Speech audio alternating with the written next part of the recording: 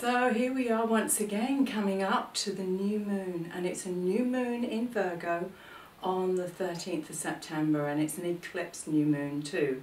So we're in super powerful times and everybody that I've spoken with in this last couple of weeks is experiencing some kind of pressure or shift that's going on within them um, that is moving them forward in some way what I feel that we're being drawn to in this particular time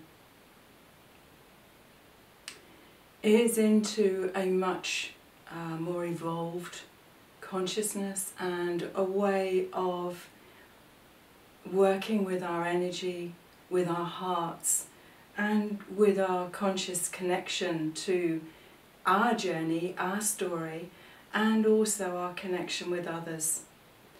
So these are super powerful times and the eclipses feel to be like a PowerPoint. They are like a pulse point that is bringing new, new insights and new choices into our potentials on a daily basis.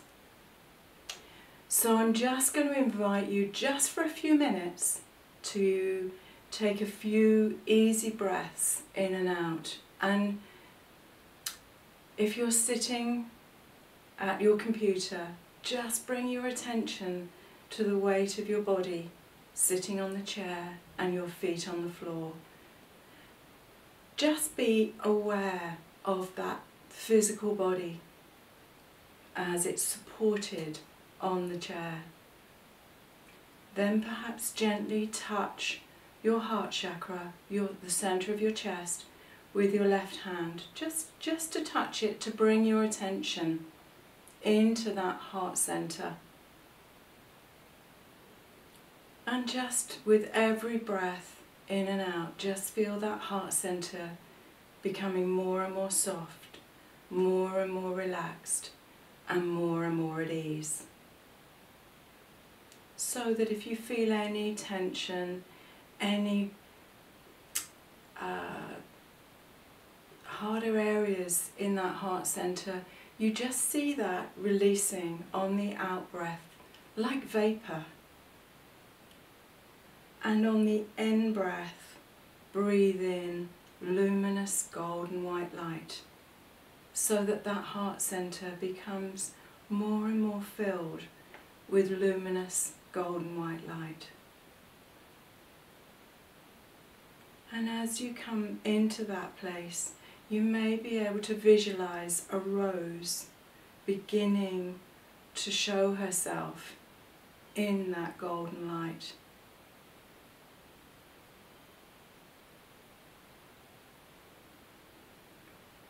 And I invite you on the next out breath to breathe that energy, that beautiful rosy gold energy out through your body just reminding your body of its connection to beauty, to love, and to the journey here, so that every cell, as that wave of rosy golden light passes through, every cell becomes kissed by that wave of energy. And then on the next out breath, to breathe that energy out into the world and breathe it particularly into those areas in the world where you know there is challenge and crisis. And also breathe it out to all of those in your friends and family circuit that you know could do with a little blast of rosy golden light at this time. And this is a process that you could repeat at any point when you've just got those few minutes to come back into centre.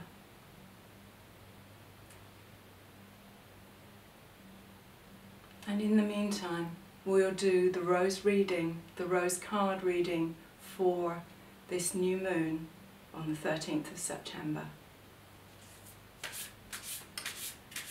So I'm asking the rose cards for their wisdom and their guidance for this coming period of time at the this last two weeks of September that take us through to the full moon.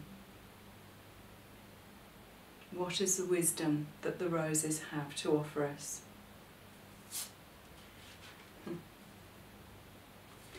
And the rose that, that has been pulled from the deck is Rose Mar 6.